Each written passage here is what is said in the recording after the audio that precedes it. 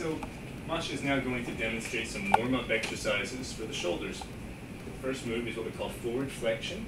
She's bringing her arms all the way up to the front over her head as far as she feels comfortable. She's going to bring her arms up and over her head to the side. Now up to the sides. Good. And down to the side. Again, with nice smooth motion coming from the shoulders. Very good.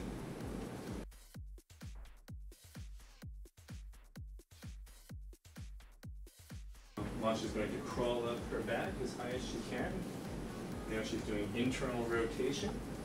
And we want to be able to get those hands approximately symmetrical. Masha is going to come across what we call cross-body adduction. And then from opposite side. Extend all the way back. Full extension. Very good. And we want to have you warm up with about 10 to 12 repetitions in each of these directions